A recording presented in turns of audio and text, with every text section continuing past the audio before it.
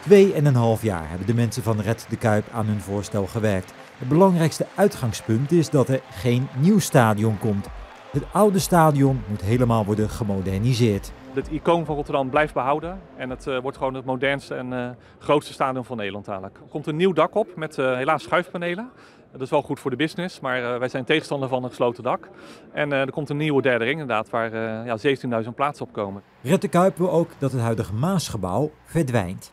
Ja, moet helaas gesloopt worden. Het staat te ver van het veld vandaan en een modern stadion heeft gewoon zicht op het veld. En de business moet gewoon het gevoel van een zicht op gras hebben, zeg maar.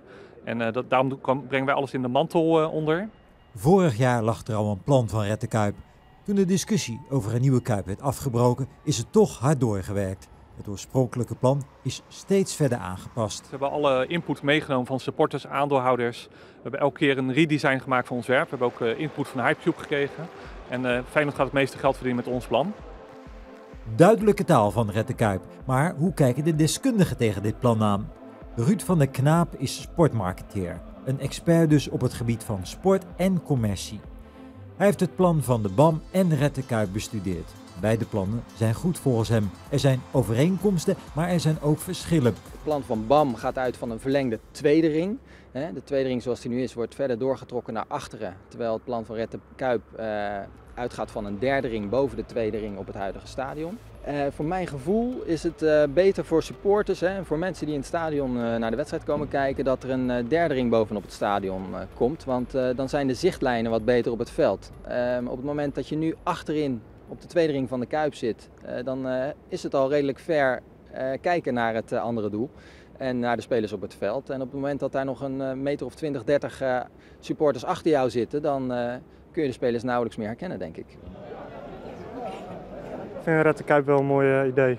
Ik heb plaatjes gezien, afbeeldingen en ook gelezen. En uh, dat interesseert me meer dan een heel nieuw stadion in ieder geval. Nou ja, BAM gaat ook renoveren. Ja, nee, dat is ook wel zo. Maar uh, ja, ik vind Red de Kuip toch uh, bijzonderder, omdat je eigen supporters daar ook meer inbrengen hebben. Ja, Red de Kuip. Ja, ik heb, vind het, het design van het stadion mooi. In beide plannen kost het stadion ongeveer 200 miljoen euro. De financiering zou rond zijn, maar hoe zit het daar nu precies mee? Beide partijen zegt, zeggen dat ze de uh, financiering rond hebben. Uh, en op welke manier ze dat hebben geregeld, dat is nog niet helemaal duidelijk. die plannen worden nu ook doorgerekend en ik begrijp dat de verkenners vandaag of morgen die, die doorrekeningen te zien krijgen. En dan zal er een stuk meer duidelijk zijn. Maar ik denk dat de gemeente er wel goed aan zou doen om een bepaalde rol in te nemen in de renovatie van de Nieuwe Kuip. Er wordt gesproken over een klein aandeel bijvoorbeeld. Voor een, van 10% voor 35 miljoen. Dat zou een scenario kunnen zijn. Ik denk dat dat ook een goed scenario zou zijn. Want de Kuip en Rotterdam die zijn met elkaar verbonden. En het is een iconisch gebouw in, in de stad. Um, die ook veel, ja, veel reclame en promotie oplevert voor de stad. Dus ik denk dat dat wel een, bepaalde investering waard is. Red de Kuip. Ja. Want? Dit is het mooiste stadion wat er is op het ogenblik. Zeg het mij. Ja, ik ben het er helemaal mee eens. Wel een dak op dadelijk hè? Ja, nee, het is niet anders. Jammer. Het is eigenlijk natuurvoetbal, hè? gewoon open ja. dak. Dat is het mooiste. Dat het gras nat kan worden. Dan nou, heb je echt de duels tenminste. In plaats van dat je bij een, uh, als het regent het dak dicht gaat, ja, dan vind ik niet echt dat je echt voetbal hebt. Ja, welk ontwerp er ook wordt gekozen, er gaat een dak op komen. Ja, daarom. Ja, dat is helaas, maar het is niet anders. Of naar een andere club? Nee, dat niet. Feyenoord voor altijd. Hè.